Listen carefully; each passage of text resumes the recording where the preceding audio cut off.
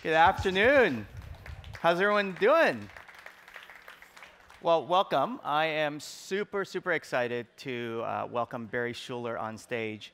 Um, Barry currently is co-founder and managing partner at DFJ Growth, uh, one of our investors. Um, Barry is a serial entrepreneur. Uh, he is one of the pioneers of the internet. Uh, he was the chairman and CEO of America Online, and uh, he brings a really unique perspective uh, around mapping over his two decade long uh, experience there. Um, he also led the first map acquisition um, of MapQuest by AOL. Uh, he currently sits on the board of Unity and uh, has some really interesting perspectives around how mapping is converging and uh, also how mapping is going to be incorporated in the gaming space. So, with that, please welcome Barry Schuler.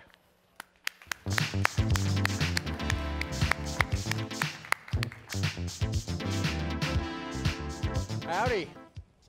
Thank you for that. Um, well, great to see everybody, and um, we're mostly going to do a little chitty chat, but I put a few slides together mapping and the whole space.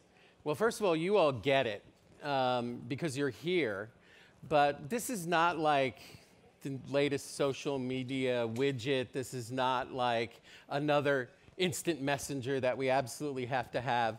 Maps are really important, and the data that is represented by maps, um, well, you know, it kind of goes way, way, way back. So I thought it would be worthwhile. Some of this may be the kind of presentation I call stating the obvious, but sometimes when you state the obvious, when you get so lost in the weeds in any technology, it helps you put things into perspective.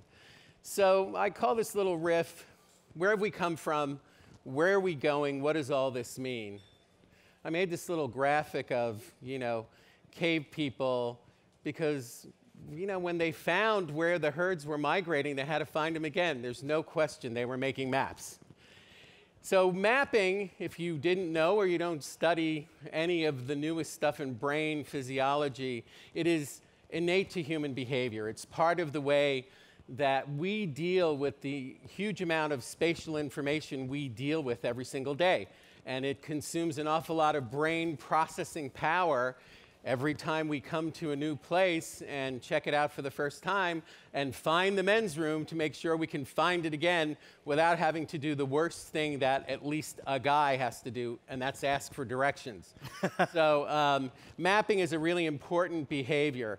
And if you look at, I've, I've always found this really interesting. If you go all the way back to the hundred, couple hundred thousand years when our DNA forefathers were wandering around, the first thing they did was get up and start moving.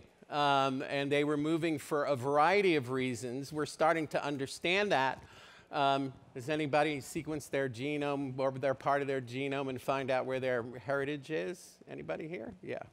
That's because you like to know where do I come from and where might I be going. But we are a species that has a lot of ADHD, and we we, are, we wonder all the time what is our place in the universe? What is all of that? You cannot answer those questions without understanding maps and mapping.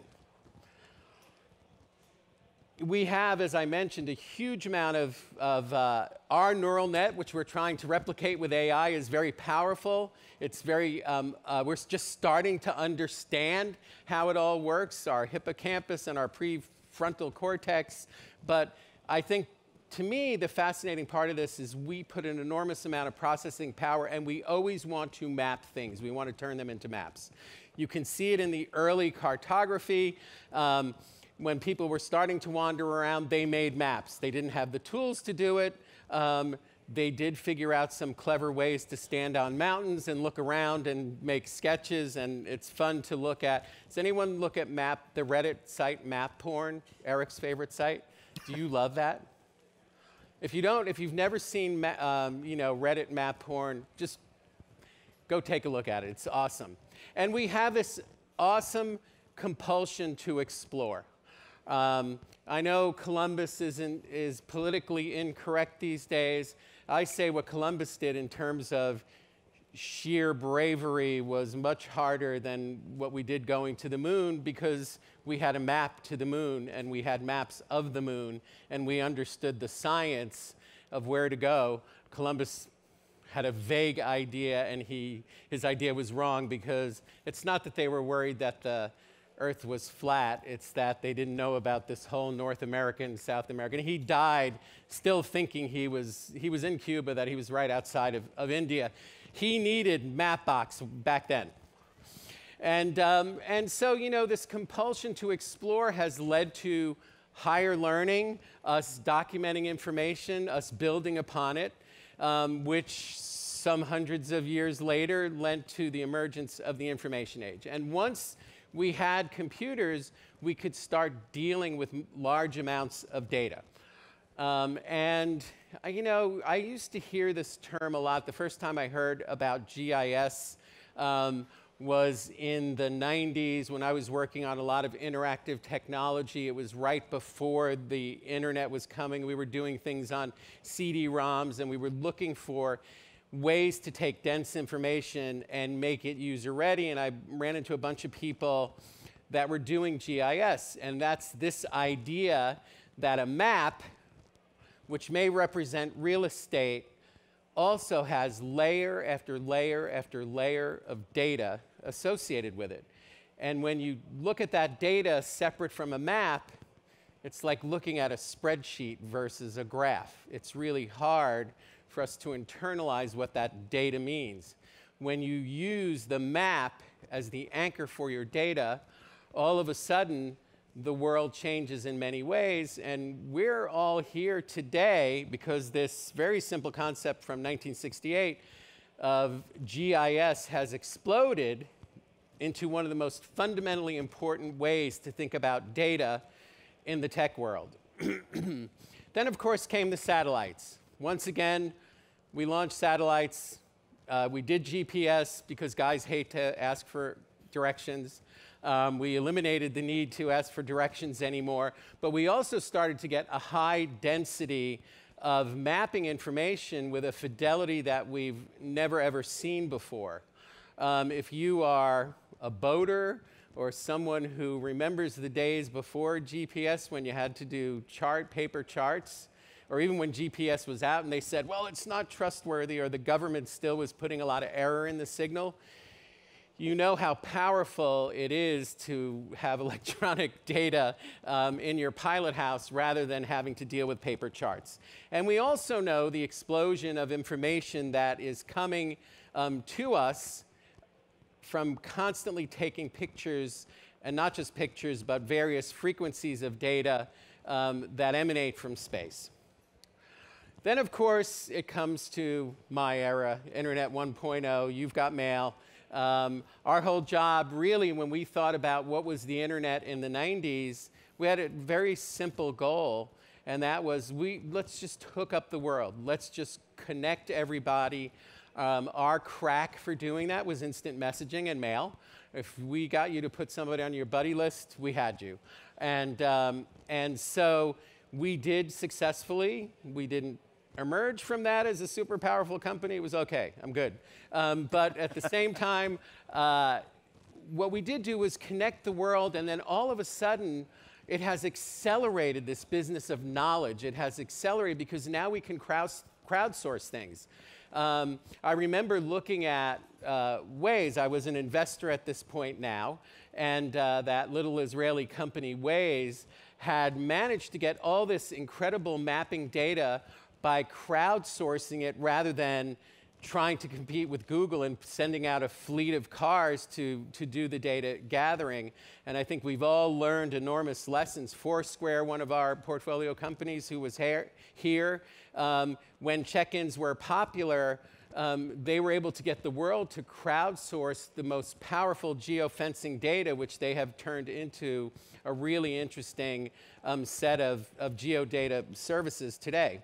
Um, and so once, now that we have this network, uh, another amazing thing happened in, in the middle of all this, and that was mobility. Uh, I don't know how many people had remember what their favorite mobile phone from the late 90s was. Um, you know, Apple was late to the game. It was not the first smartphone. It was more like the Treo or what BlackBerry was, was fooling around. But now all of a sudden, instead of tethered information and data, people were on the move. And when you're on the move, it is now inherently geo. And when you go to the abstraction of this technology today and the power of this, smartphones are pocketized supercomputers. They are geocentric. They are reporting where they are at all times. Um, they know where you are, and they can give you information based on, on where you are. And they're spatially aware. They know their orientation, um, and they can deliver information related to that. And this, um, I believe, brings together all of that history to where we are today and why geoinformation and all the applications and services that people are here are thinking about are so important because we're right at the beginning of what all of this means. So now, when we talk about where are we going, that's where we've been, and where are we going, I believe the future of tech is reliant on the data that is represented by maps of all kinds. There's, of course, real estate, um, everything that's attached to where we are at the moment, um, but there's everything that we conceptualize put in the form of maps. We have invested heavily in this space, DFJ Growth, we do early stage growth investing, and we've worked hard to cover geo. Mapbox, Foursquare, Unity, which I'll talk about in a second, um, SpaceX to launch the, the, vehicles and Planet to capture the data with microsats. And of course, SpaceX is going into that space as well. And we believe that all of these things together and the innovations that are happening here are critical to the next wave, um, a lot of which you're seeing right here. So I am a huge fan of XR, call it AR, VR, call it 3D real-time rendering. I'm on the board of Unity. Um, I think that the tools that they bring that make it easy to deliver the information, whether it's over your phone or some apparatus that will make it easy and simple, um, uh, is coming. It is the next platform. It is the next generation. I do believe that the UIs that we have been looking through through panes of glass whether they're the pane of glass on your laptop or the pane of glass on your phone, are going to go away and data will become immersive. And if you believe what I said and don't think it's bullshit, I believe it, um, then what that says is geo and spatial awareness and mapping is critical to every application that's coming down the, the, the pipe. Um, when we think, when we talk about AI and autonomous vehicles, again, you have the demos here. It's the very early days. Um, they, of course, are absolutely dependent upon the data that's going to support these vehicles getting where they need to go. And as I like to point out, going back to my point about how our brains work and how we are always trying to take any information and put it into a map or a spatial um, uh, form. You've seen many of these market maps. We are always trying to take information coming to us and put it into map form.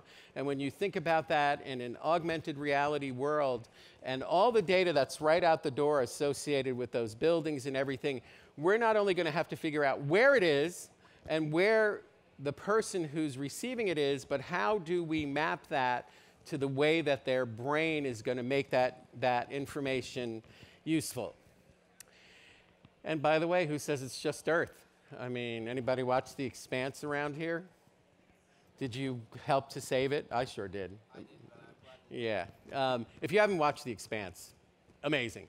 But anyway, the humans will be, will be a species that are moving out into the universe um, our understanding of what's around us is innate to us and really important. So don't limit your thinking, well, don't talk to VCs about Mars. Only Elon can do that. um, and for the longest time, we're like, okay, okay, just get the rockets to work. Um, thank you very much, and I'm happy to have a little chitty chat time. Whew. Thank you, Barry. That's awesome. So let's turn back the clock a little bit. Sure. 19 years ago, um, you were at the helm of AOL, mm-hmm. and you decided to buy MapQuest. We did. Obviously, fast forward to today, it seems like obvious mapping is very important. Back in the days, what was, what was going through your mind? What was the strategy of AOL, and what was MapQuest going to bring to AOL? So there were, there were two things um, driving, driving that. Um, The first one was in uh, 98, it was roundly 98. Um, we were growing like crazy. We had 20 million ish paying customers. We were growing worldwide. And we wanted to understand how big could we get? Um, how big would the internet get? How many people would be connected? And we fielded a, a very large worldwide study, and a piece of data came back that was kind of mind numbing. And it was, you know, that it would get to billions, but that within about a decade or decade and a half, more people would be connected to the internet via mobile devices than computers. Now, I have to refresh your memory to what 1998 was. You probably had a Nokia candy bar phone. Um, was like the hot phone of the era and you know there was a little bit of data on it. So you can imagine that that was was pretty shocking. But when we when we drilled down on it um, what we came to understand was that in developing countries that had, didn't have wired infrastructure they were not building out fiber. They were just going straight to data. And you know some of the the data um, standards gsm in particular uh, were much better uh, for delivering internet than, than, we were doing. So we started to think about okay what does a mobile aol look like? What do the services look like? And and uh, and, and, we felt mapping was a critical part of that. But we also believed, and it was what, what led us to chase after Time Warner, this convergence word that so many services that were being delivered on proprietary hardware and systems, and that included music, um, cable TV, movies, um, GPS, which were on proprietary devices, would become software and would be delivered over the infrastructure of TCP/IP. And we were looking for really big assets to play in that space. Map, Map, Mapbox, which was a very, I'm sorry. See, I'm getting old. You know who I love now. It's Mapbox, but Map, MapQuest, uh, you know, was a really important asset.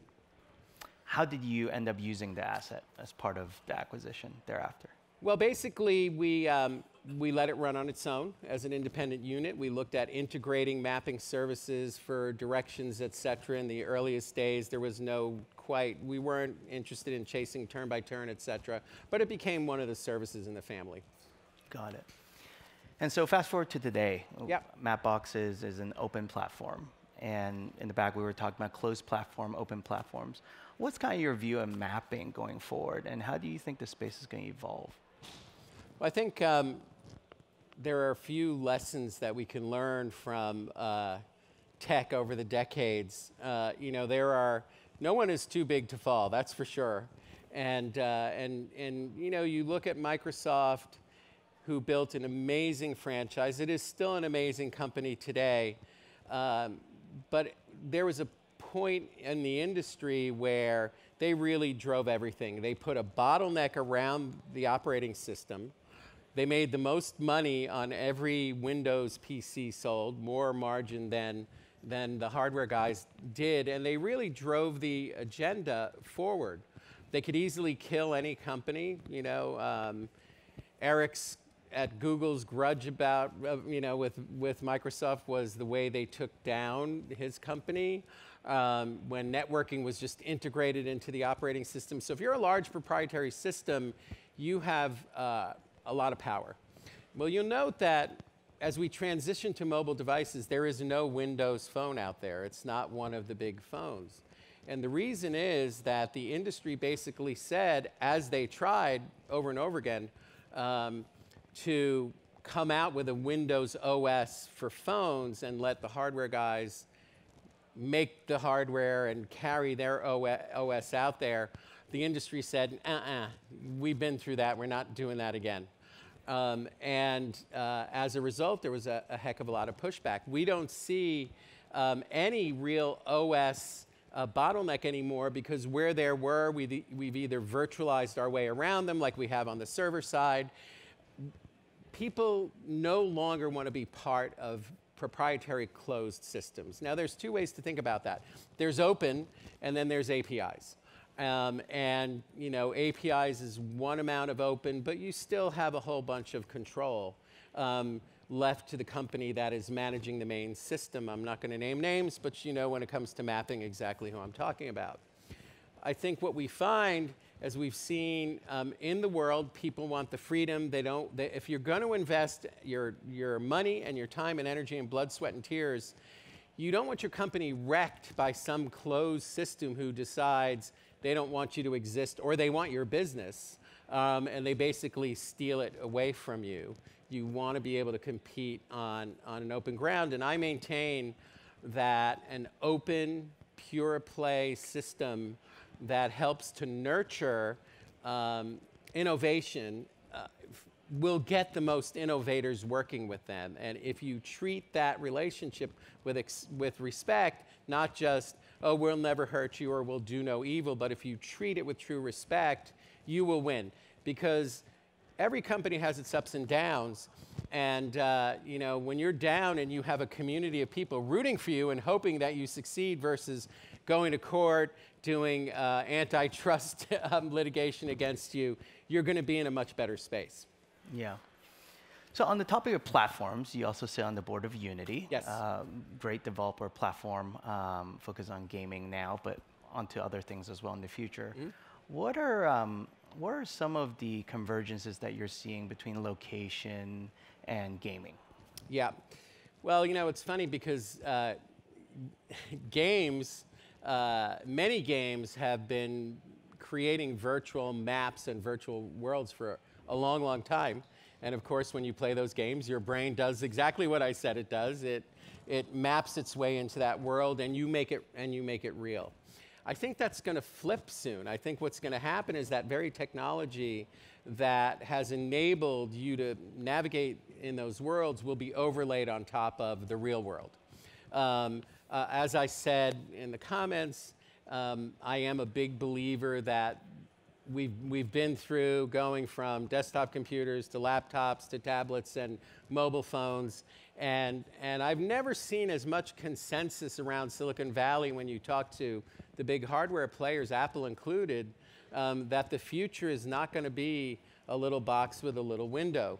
That the way you, that you're going to receive data is going to be something different. Now, we all agree it can't be some clunky headset, um, and that's going to be uh, uh, the hard part to figure out, but that there will be a really immersive um, environment where, where we have real world, but we're also seeing augmented data in many forms, all of which want to be rendered in high fidelity um, 3D. Uh, and that's what Unity does. And uh, that is what their platform and tools do, and they make it easy for game developers to make that, um, those things happen. I believe 10 years from now, gaming will be the small, smallest part of Unity's business. I think that there's going to be an explosion of innovation. I hope everyone here is working on something um, for this coming future. Uh, because it's going to be like when the internet came along. When the internet came along, there were before that there were brochures and if you wanted to get information you had to call a company and they sent you paper stuff and then all of a sudden this idea of a website that you could get to from anywhere came along and every business had to create a website sounds mundane to think about it today um, but companies sat around and said, well, do we really need a website? Um, and, but they ended up building websites that were first like brochures, and then they became transactional because if it was your bank, you wanted access to your information, you wanted to be able to make, move money around, make purchases on, on, on things. Um, and that's kind of how far it's gone. Well, in this 3D visual world we live in, everyone's going to have to remake their stuff. Um, if we think that, uh, I remember in the earliest days of, of uh, e-commerce on AOL when we were just struggling to get people to put their credit cards into their computer, people would say, oh, no one's ever going to buy um, apparel online because they have to try it on. And, and uh, look, it's taken a long time. It's 20 years, but e-commerce is really making inroads into brick and mortar. Um, we may see a different model that hybrid, hybridizes the two, but in order to make that happen, um, everyone's going to have to rebuild their stuff. Um, you should be able to see yourself, not some avatar. Um, with hairstyles, with apparel on before you make purchase decisions. You, you will be able to scan your own geometry and, um, and I also believe custom manufacturing in the form of various types of 3D printing will make something that actually fits you. Um, we won't have mass, you know, mass manufacturing at some point, and they will all converge in this same space of a world where we seamlessly blend that kind of data together with, with the real world. Yeah. What, um, over the course of the last couple decades, what are some trends that surprised you the most? And what, what things accelerated much faster than you thought? What probably took a lot longer to develop? Yeah. I would say that um, this, the most surprising things to me are the not good things.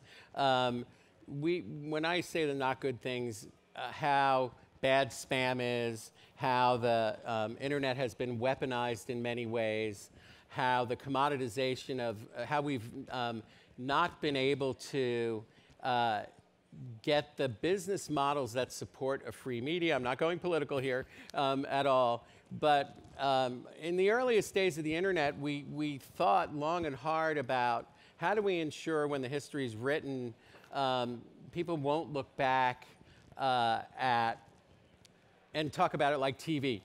It's a vast wasteland. Too bad it couldn't have been better. Now, I don't feel that about the internet, but, but I do think that um, I look at GDPR and how the Europeans actually put their foot down and got everyone in the US scrambling. And I do think, while I hate regulation, um, we have not done a great job of regulating ourselves in many ways, and that we as an industry should take that seriously. So we'll, we'll put that little editorial announcement aside, I will say that every decade that comes along, I mean, I, I loved being alive to build a computer and see what happened with the technology. Um, the internet was an amazing decade. Um, every time I think that the last decade was the most amazing thing ever, the, the next one comes along and lines up um, for something spectacular. And when you look at the potential upside for the tech we have today and what it could do for education, what it could do for giving people a voice, what it could do. Um, if I could just get my daughter off of Snapchat, maybe some of these things will, will, uh, will happen. but uh, um, all of the things we've been talking about and that you see out there, to me, 50,000 people a year in the US alone die in cars. Why does that happen? Well, it's because we suck as drivers because, I mean, we've had cars for what, 100 plus years? We're bad drivers. We don't follow the law. We, we, we drive intoxicated. We should lose our right to drive cars. And all of a sudden, autonomous vehicles, uh, autonomous vehicles would be easy if we got the humans off of the road. The job of making them work is, is an entirely different tech job if you're not trying to get robots and humans to, to live together. If we did that, you, you could put that technology into play in a very productive way. So all these technologies um, have the potential for great, you know, great benefit if we can accelerate them along. Awesome. And so earlier on in, in, in, in, in, the, in the evolution of this industry, there are a lot of location-based services, yes. LBS services. Um, as we saw this morning, a lot of companies like Jump Bikes and Tableau we don't call them location-based services. Location is just part of the model. So now that you've been an investor for 10 plus years, what are some of the more exciting companies that you're seeing that is leveraging location to actually become a differentiator in the marketplace? Yeah, well, um, we've been so focused on trying to get the infrastructure there when I was talking about, you know, you go through these phases in an emergent market where you need to have the infrastructure to let the thousand flowers mm -hmm. bloom, which is when I talk about um, the infrastructure, why I mentioned Map, Mapbox's enabler, Foursquare's enabler, rockets and satellites, et cetera. And, um, and now we think we are, we are in the space where um, the companies that utilize them will grow and get to the scale that, that we get interested in. I mean, clearly, probably the biggest so far, Air, Airbnb and Uber. I mean, uh, I remember using Uber when it came out, and it took an hour for a car to come. But um, what struck me about it was that that business was made possible by Geo.